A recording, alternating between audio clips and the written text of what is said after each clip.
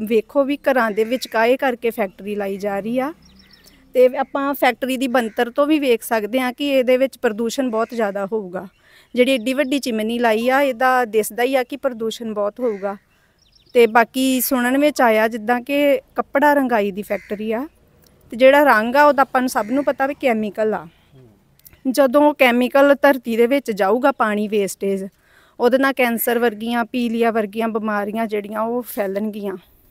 ਇੱਕ ਹਿਸਾਬ ਦਾ ਜ਼ਹਿਰ ਫੈਲੂਗਾ ਪ੍ਰਦੂਸ਼ਣ ਹਵਾ ਵੀ ਪ੍ਰਦੂਸ਼ਿਤ ਹੋ ਜਾਣੀ ਪਿੰਡ ਦੀ ਤੇ ਪਾਣੀ ਵੀ ਪ੍ਰਦੂਸ਼ਿਤ ਹੋ ਜਾਣਾ। ਤੇ ਇਸ ਕਰਕੇ ਬੇਨਤੀ ਆ ਸਰਕਾਰ ਨੂੰ ਕਿ ਜਿਹੜੀਆਂ ਇਹੋ ਜਿਹੀਆਂ ਫੈਕਟਰੀਆਂ ਉਹ ਘਰਾਂ ਤੋਂ ਦੂਰ ਲਗਾਈਆਂ ਜਾਣ। ਘਰਾਂ ਦੇ ਵਿੱਚ ਵਸੋਂ ਦੇ ਵਿੱਚ ਕਾਏ ਇਹਨਾਂ ਫੈਕਟਰੀਆਂ ਨੂੰ ਜਿਹੜੀ ਆ ਮਨਜ਼ੂਰੀ ਨਹੀਂ ਦੇਣੀ ਚਾਹੀਦੀ। ਇਹ ਪਿੰਡ ਦੇ ਰੈਸ਼ ਦੇ ਵਿੱਚ ਇਹ ਫੈਕਟਰੀ ਲਾਈ ਜਾ ਰਹੀ ਹੈ ਜਿਹਦੇ ਵਿਰੋਧ ਚ ਸਾਰੇ ਇਕੱਠੇ ਹੋਏ ਨੇ। ਔਰ ਸਾਰਿਆਂ ਨੂੰ ਇਹ ਪਤਾ ਹੋਣਾ ਚਾਹੀਦਾ ਵੀ ਗਲੀ ਵੀ ਛੋਟੀ ਹੈ ਗਲੀ ਵੀ ਵੱਡੀ ਨਹੀਂ ਹੈਗੀ। ਇਹ ਤੋਂ ਪਹਿਲਾਂ ਪ੍ਰਸ਼ਾਸਨ ਦੇ ਧਿਆਨ ਚ ਲਿਆਂਦਾ ਹਾਂ ਹਾਲੇ ਤਾਂ ਕੁਝ ਨਹੀਂ ਲਿਆਂਦਾ। ਅੱਛਾ ਅੱਛਾ। ਕੀ ਮੰਗ ਕੀ ਹੈਗੀ ਤੁਹਾਡੀ? ਮੰਗ ਇਹ ਵੀ ਗਲੀ ਛੋਟੀ ਹੈ। ਫੈਕਟਰੀ ਨਹੀਂ ਹੋਣੀ ਚਾਹੀਦੀ। ਹਾਂਜੀ ਕੋਈ ਕੀ ਕਹਿਣਾ ਚਾਹੁੰਦੇ ਜਿਹੜੀ ਇਹ ਫੈਕਟਰੀ ਤੁਹਾਡੇ ਪਿੰਡ ਲੱਗਣ ਜਾ ਰਹੀ ਹੈ? ਅੱਜ ਤੁਸੀਂ ਇਕੱਠੇ ਹੋਏ ਹੋ। ਪਹਿਲਾਂ ਤਾਂ ਵਾਹਿਗੁਰੂ ਜੀ ਕਾ ਖਾਲਸਾ ਵਾਹਿਗੁਰੂ ਜੀ ਕੀ ਫਤਿਹ। ਵੇਖੋ ਜੀ ਇਹ ਫੈਕਟਰੀ ਇੱਕ ਵਸੋਂ ਘਰਾਂ ਦੇ ਵਿੱਚ ਲਾਈ ਗਈ ਹੈ। ਇਹਨੂੰ ਕਿਤੇ ਬਾਹਰ ਲਾਇਆ ਜਾਵੇ। ਜਿਹਦੇ ਨਾਲ ਵੇਖੋ ਘਰਾਂ ਦੇ ਵਿੱਚ ਨੁਕਸਾਨ ਆ ਆਬਾਦੀ ਦੇ ਵਿੱਚ ਵਾ। ਤੇ ਸਾਰਿਆਂ ਦਾ ਵਿਗਾੜ ਆ ਕੈਮੀਕਲ ਤੁਸੀਂ ਆਪ ਸਿਆਣੇ ਆ ਇਹ ਚੀਜ਼ਾਂ ਜਿਹੜੀਆਂ ਹੁੰਦੀਆਂ ਬਾਹਰ ਹੋਣੀਆਂ ਚਾਹੀਦੀਆਂ ਪਿੰਡ ਤੋਂ। ਨਾ ਕਿ ਘਰਾਂ ਦੇ ਵਿੱਚ ਲਾਈਆਂ ਜਾ ਸਕਦੀਆਂ। ਤੇ ਮੁੜ ਕੇ ਬਿਮਾਰੀਆਂ ਸੱਦਾ ਦੇਣ ਵਾਲੀ ਗੱਲ ਆ। ਸਰਕਾਰ ਨੂੰ ਸੋਚਣਾ ਚਾਹੀਦਾ ਇਹਨਾਂ ਚੀਜ਼ਾਂ ਧਿਆਨ ਦੇਣਾ ਚਾਹੀਦਾ ਕਿ ਘਰਾਂ ਦੇ ਵਿੱਚ ਥੋੜੀ ਲਾਈ ਜਾਂਦੀ ਹੈ। ਕੀ ਇਹਨਾਂ ਨੇ ਜਿਹੜੀ ਇਹ ਲਾਈ ਕੋਈ ਪਰਮਿਸ਼ਨ ਲਈ ਹੈ ਵੀ ਇੱਥੇ? ਇਹ ਬਾਰੇ ਤੇ ਕੋਈ ਨੌਲੇਜ ਲਈ ਜਾਂ ਨਹੀਂ ਲਈ ਤੇ ਇਹਨਾਂ ਨੂੰ ਪਤਾ ਹੋਊਗਾ ਆਪਾਂ ਨੂੰ ਇਸ ਬਾਰੇ ਕੋਈ ਨੌਲੇਜ ਨਹੀਂ ਹੈ ਵੀ ਉਹਨਾਂ ਲਈ ਜਾਂ ਨਹੀਂ ਲਈ ਹੈ ਨਾ ਤੇ ਅਸੀਂ ਲਿਆ ਪ੍ਰਸ਼ਾਸਨ ਦੇ ਧਿਆਨ 'ਚ ਲਿਆਉਣਾ ਚਾਹੁੰਦੇ ਵੀ ਇਹ ਚੀਜ਼ਾਂ ਨੂੰ ਵੇਖਿਆ ਜਾਵੇ ਆ ਕੇ। ਮਨਜ਼ੂਰੀ ਦੇਣ ਤੋਂ ਪਹਿਲਾਂ ਇਹਨੂੰ ਬੰਦ ਕੀਤਾ ਜਾਵੇ ਮਨਜ਼ੂਰੀ ਨਾ ਦਿੱਤੀ ਜਾਵੇ ਕਿਉਂਕਿ ਵੇਖੋ ਨੁਕਸਾਨ ਕਿੰਨਾ ਸਾਰੇ ਪਿੰਡ ਦਾ। ਘਰਾਂ ਦੇ ਸਾਹਮਣੇ ਘਰ ਆ। ਆ ਕੇ ਨਿਗਾਹ ਮਾਰੀ ਜਾਵੇ ਤੇ ਉੱਪਰ ਵੇਖਿਆ ਜਾਵੇ ਇਹਨੂੰ ਮੌਕੇ ਤੇ। ਹਾਂਜੀ ਅਸੀਂ ਕਹਿੰਦੇ ਆ ਵੀ ਇੱਥੇ ਨਹੀਂ ਲੱਗਣੀ ਚਾਹੀਦੀ ਸਾਡੇ ਬੱਚੇ ਨਿੱਕੇ ਨਿੱਕੇ ਕੋਲ ਨੇ ਬੂਹੇ ਦੇ ਨਾਲ ਤੇ ਹੈਗਾ ਸਭ ਕੁਝ ਹੁਣ ਬੱਚਿਆਂ ਦਾ ਪ੍ਰੋਗਰਾਮ ਕੀ ਕਰੀਏ? ਜੋ ਖੜਾਕਾ ਹੁੰਦਾ ਕੋਈ ਸੌਂਦਾ ਨਹੀਂ ਬੱਚਾ ਕੋ ਕੁਝ ਨਹੀਂ। ਤੇ ਦਿਨ ਰਾਤ ਖੜਾਕਾ ਹੋਇਆ ਕਰਨਾ।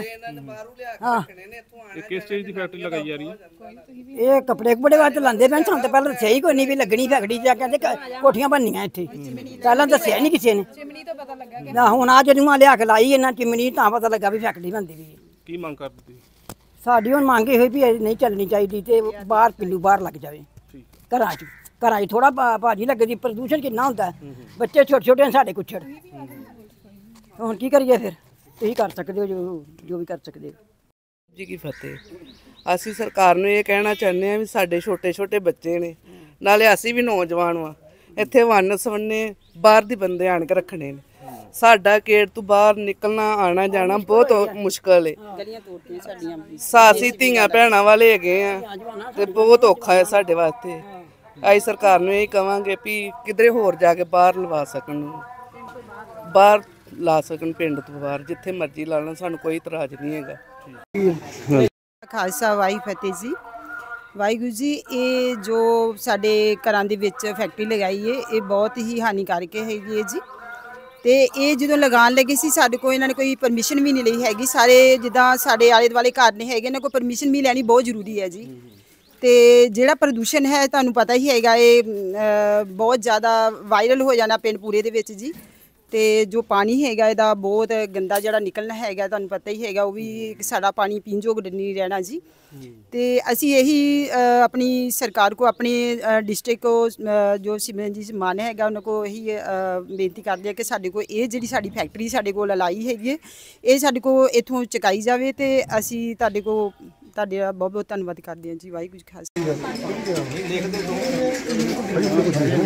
ਨਹੀਂ ਨਹੀਂ ਬਸ ਇਕੱਲੇ ਨਾ ਹੀ ਇਕੱਲੇ ਨਾ ਹੀ ਬਸ।